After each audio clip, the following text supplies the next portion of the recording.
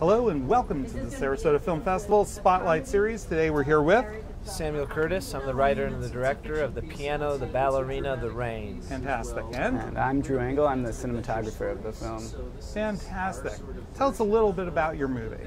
So this film is it's a love story about a pianist who falls in love with a dancer. And with most love stories, uh, there's a little bit of heartbreak and a little bit of soul searching. Mm-hmm. So we wanted to make a film that could be. We want to tell a story that could be told with no dialogue, just the, just the way people look at each other. So much of it depended on the cinematography, uh, the Then visual let's storytelling. talk about the, the, the visual language that you brought to the film. Um, sure. So the film's a, it's a short. It's about nine minutes. It's shot digitally, but it's a black and white and what's called anamorphic. Were you going for kind of a film noir or? Um, sort of. I mean, we kind of wanted to embrace like the digital side of things. We Oh, didn't want really? to add Okay. grain or do anything to kind of replicate. So we embrace, but it also does have kind of. Uh, we're going for a timeless kind of like Beautiful. feel. So, um, so it is a digital film, and we don't deny that. But it, it has a classic composition and style to it. Gotcha. Okay. Tell me a little bit about why, what drew you to this story? What inspired you that you just had to tell this story? Well, I think one of the most compelling stories to tell is the story of love. I think Mhm. love is what makes life worth living. Absolutely. And so we wanted to just tell a, a simple story uh, about two people falling in love. And Oh, sometimes when you fall in love with someone, it's sort of hard to let them, let them know that. absolutely. So it's about this timid pianist. Uh, Aw. we, we were very inspired by uh, a lot of European filmmakers. Right. uh, Andrei Tarkovsky, Mhm. um, Wow. Wild Strawberries, mm-hmm. uh, In- Ingmar Bergman. mm-hmm. Who, who are some of our other inspirations, you'd say? Uh, some still photographers, Henry Bresson. Wow. Um, just a couple other guys out there. Yeah, I don't know. I can't think of anything else of that. Well, visually, like you said, it's all really in the visual storytelling, and all that comes across. Absolutely. Now, what were some of the things? Did anything occur during the making of this film that was like a pleasant surprise, something you didn't expect that that just came up? I think I got a, I got a good gonna- one. yeah, Yeah? So uh, Tell me. this was all produced by uh, the state of Florida Okay. and um, over at uh, Florida State University. Okay. And uh, we, we were allocated three days of production. We were given Okay. all the equipment, uh, given a grip truck, uh, given Nice. a bunch of students, and we could basically do whatever we wanted. Um, Wow. And that's that's always a good thing. And um, on the third day of production, we were driving down the highway to get to Thomasville, Georgia, Mhm. and ahead in the distance we saw a billowing black cloud of smoke. Wow. And, and we uh, pulled up, and our grip truck was burning. The, the, the, the, Amen. cab, the cab was totally engulfed in flames. The And news was there. I know it's not funny, but No, wow. it is. It was- in retrospect, it's absurd. it was a very f- a film about surreal surrealism and dreams, and uh, yeah, it was it was quite the experience. We wa- we were in in between the borderline of Tallahassee and Thomasville, so there, we it was uh, there's no fire department in that area, so we actually watched the grip truck burn to the ground for 45 minutes. About a million dollars of equipment probably were lost. Uh, This is a pretty pricey we- short. So that's why we say the budget was like 1.5 million. oh, okay. but we, we, we didn't know, we didn't it wasn't our equipment it was the state of Florida so Yeah. So we don't know much about the politics here, but uh, they lost a little bit of money. Yeah. It wasn't our fault though. it was bad maintenance. But we still filmed. it- Still filmed that same day.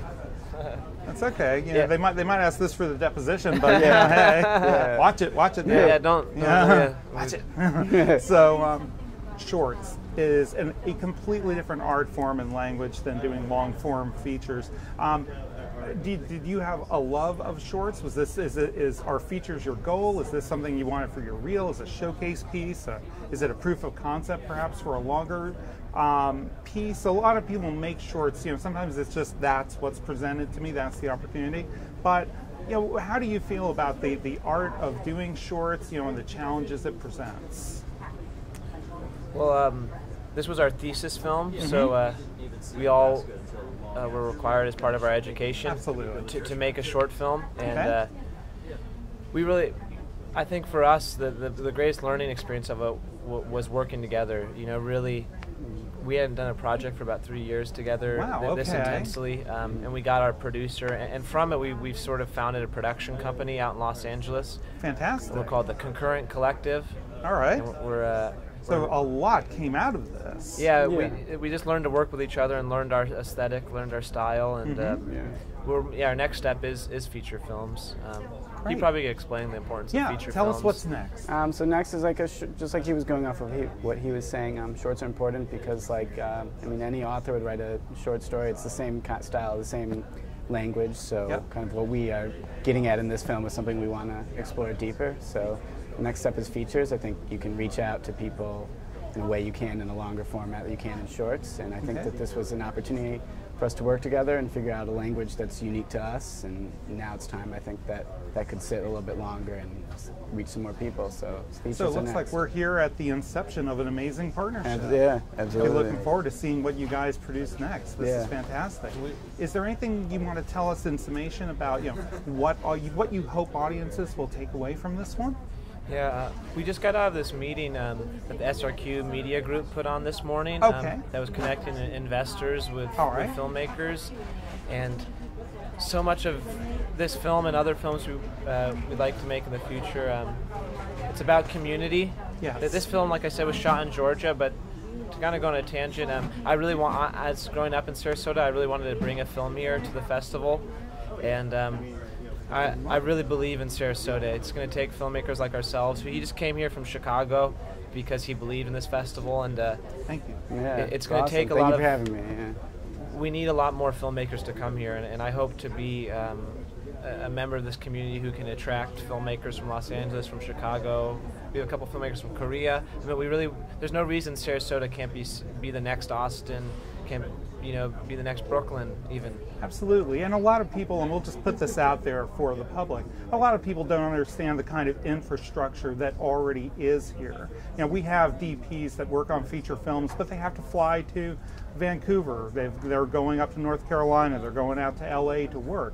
There's a lot of techs here. There's a lot of existing structure that you'll be able to take advantage of, and people really don't know is already here once we have the auteurs, once we have the right stories, once we have that, you know, the first person on the dance floor, I think we're going to really achieve it. So I hope that's you.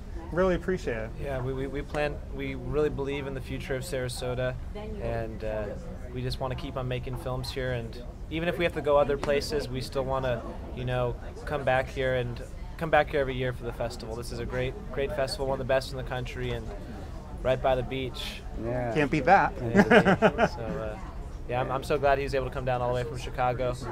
We plan to make many more films together. Definitely look out for us. Our, our next film is a feature film. It's called True A Fool Is Love.